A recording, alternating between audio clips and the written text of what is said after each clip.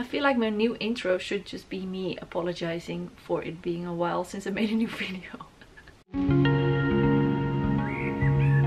Hello and welcome to a new video.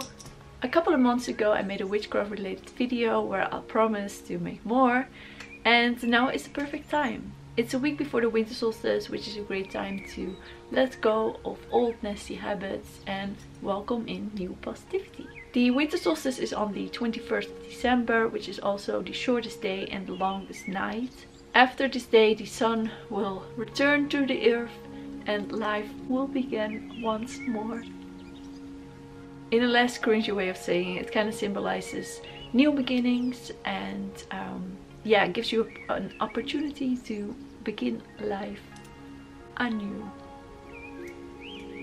So what I do at the winter or summer solstice or just randomly is a banishing ritual. I personally don't work or believe in spells. They're kind of a bit too theatrical for me, but I do perform like a lot of rituals. And this is one that I do quite often and it's honestly helped me a lot to deal with like a lot of shit, like to let go, which is like the goal of this ritual.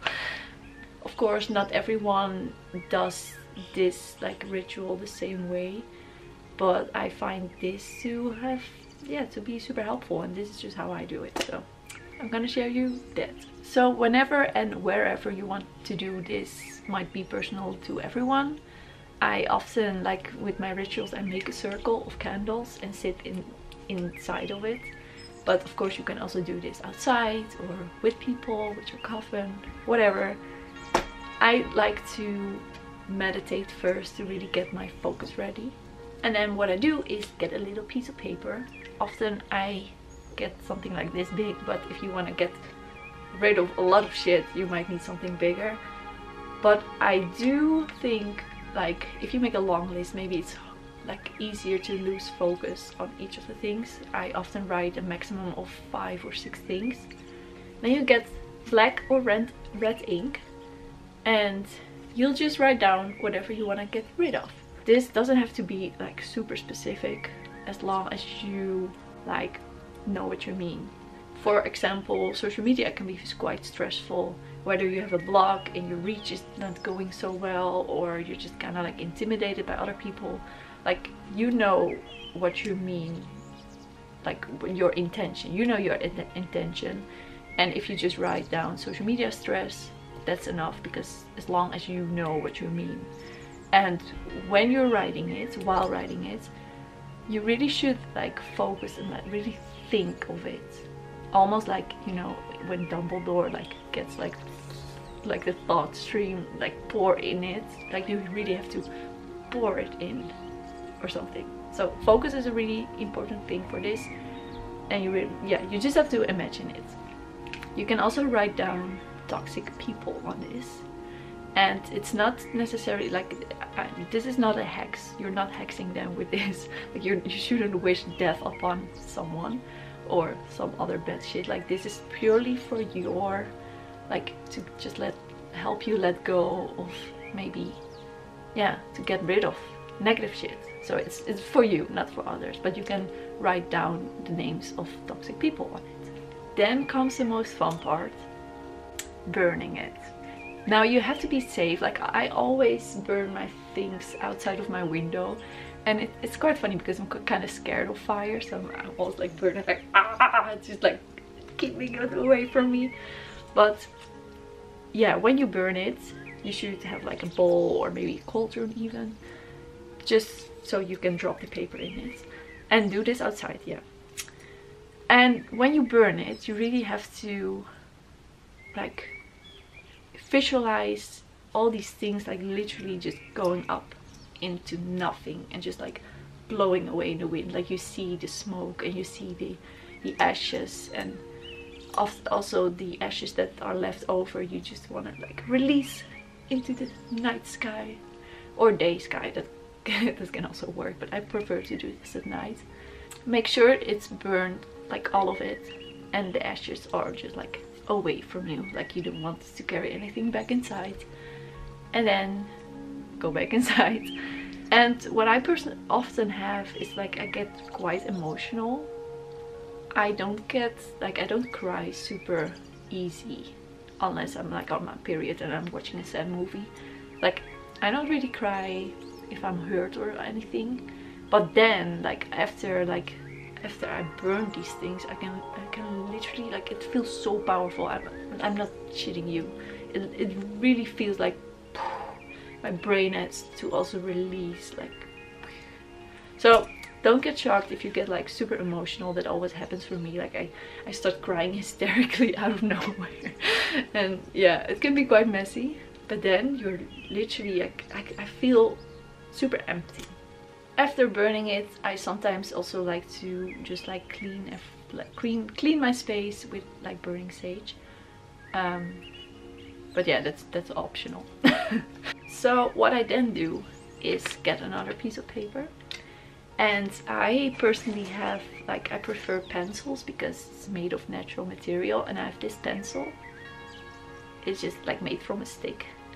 And I have this on my altar so it's always kind of like charged with good shit. And I use this pencil to write down things that I would welcome into my life. And again like the Dumbledore kind of like the intense focus you really need to like visualize what you mean. And um, a few examples like what that I often write down is like more motivation more creativity um, like kind of like things like those kind of more like broader things like I, I don't think you should like write down like oh I want money but maybe success. You know what I mean? I don't know if I'm making sense.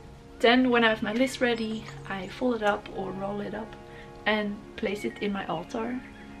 If you do this like releasing like if you have multiple I don't I never throw these away. Like if I made a new one I, I want to get rid of the other one because it's not very relevant anymore but I never wanted to throw it away or I don't want to burn it either.